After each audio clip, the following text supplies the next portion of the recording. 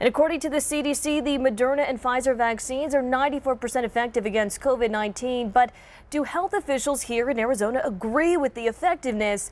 And does Pima County fall in line with that data? News 4 Tucson's Daniel McFarland has the story.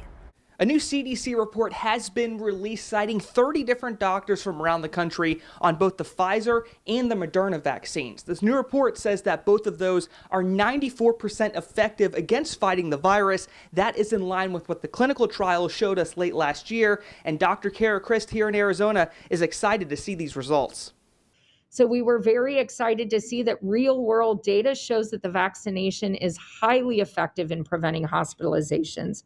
The study was done between January and March of this year and confirms what the clinical trials showed months ago. That still leaves 6% that could become sick even after being vaccinated, and that's exactly what happened to State Representative Alma Hernandez, who tested positive this past Wednesday. I had a migraine and suddenly lost my sense of smell and taste. I went in to get tested.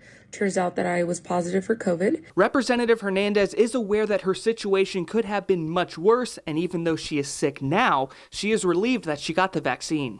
First and foremost, I have been fully vaccinated for over two months now, and it's important to note that my situation would be much worse right now if it weren't for me being vaccinated.